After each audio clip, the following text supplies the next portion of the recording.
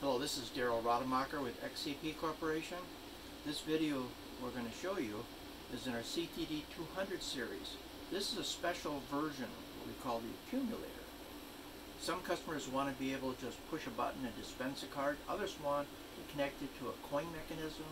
Others want to a bill acceptor, then to a card um, terminal, um, like for example, uh, USA Technologies or Nayax or others, where they um, do a cashless payment.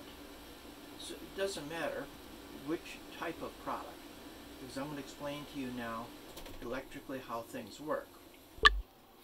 All right, this is the CTD 200 series that we're talking about.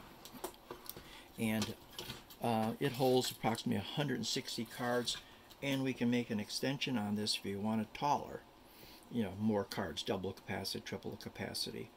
It's uh, fully adjustable with a micrometer gate that you can dial in how thick you want for the card. If it, can go all the way down to 0.012 or the other way to uh, 0.040 in thickness with this little knob.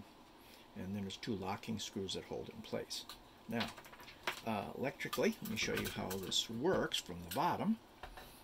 We have our controller board, and there's little dip switches right here. And you, you, you look at the four dip switches right now we have all four dip switches in the off position. That's going to allow us to do free vends. so I'm going to connect up our harness and power. So first thing I'm going to do I'm going to take our little harness which has got an illuminated waterproof push button on it and a red green inventory uh, LED so I take my connector and I connect it in. Can't make a mistake, it only goes one way. So I click that into place. And then I'll take a source of 12 volts and I plug it in. Click and the little green LED illuminates underneath to let you know it's alive and well and ready. And if we take a look over here we see our little push button is illuminated and here's our red green LED now when it's in free VEN with all the dip switches off, you will get a green inventory letting you know, yes, it's ready. And if I lift up my little switch over here, you'll see it goes to red when it's out of cards. Alright, so for making a dispense, obviously all I do is push my button here, and it's going to dispense out a card. It, and it holds the card, by the way. My button again and so forth. I'm dispensing my cards. Now, I want to show you how um, connecting it up to a bill acceptor, a coin mechanism, or a credit card terminal is done.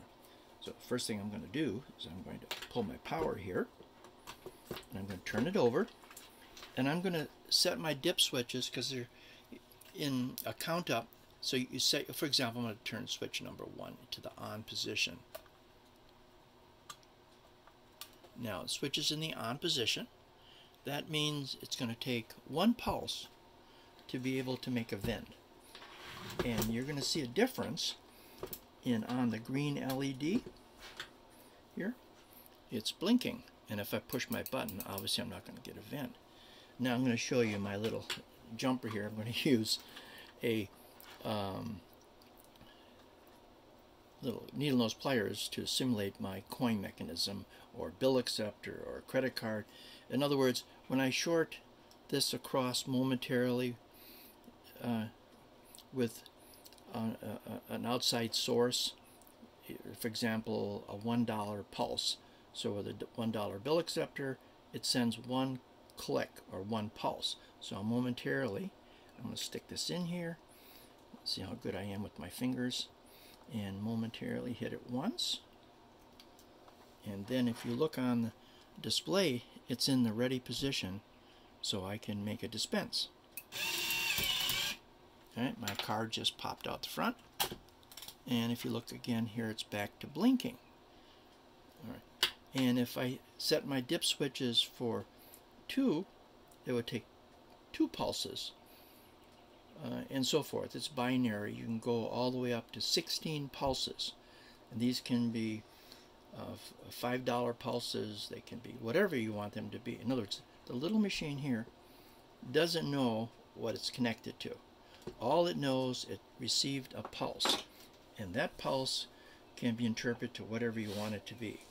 Like some of our bill acceptors, you can send four pulses for a dollar. Um, same goes with coin mechanism. You can accumulate pulses. Many of the coin mechanisms will take six different types of coins. If I put in a, a quarter, it'll send five pulses. If I put in a nickel, it sends one pulse. If I Put a dollar, it sends 20 pulses. Again, our product doesn't know what it's connected to. It can be connected to any kind of external source, including a remote uh, source. For example, in the transit business, they have the truck drivers coming in and they're up in the tower and they want to be able to dispense an E-ZPass. Well, how do you do that? Well, remotely, you can, with Bluetooth, trigger this little dispenser with a Bluetooth receiver and with a cell phone, and you can make a pulse. We do this also in laundry systems and car washes. It just goes on and on. Any place where you want to dispense a card or a ticket or an envelope with a ticket. I'm going to go back now to the product here again. I'm going to focus on these three wires for you to explain the termination. It's pretty obvious you know what black and white is uh, normally. In this case, it's not. It's red plus 12 volts and ground. So this is the signal line. So when you go between the black and the white momentarily with a switch closure or pulse, your signal, it's going to count on the microprocessor as 1. And this is your plus 12 when you receive our product, it'll come with these three wires, and you can connect these to your bill acceptor, coin mechanism, credit card terminal, debit card reader writer, uh, or uh, Bluetooth receiver it, and transmitter. So the limitless ways that you can send pulses to this product. This concludes our demonstration. More information, contact XCP Corp phone number 352 678 3021 or go up on our website at www.xcpcorp.com. Thank you for watching our video.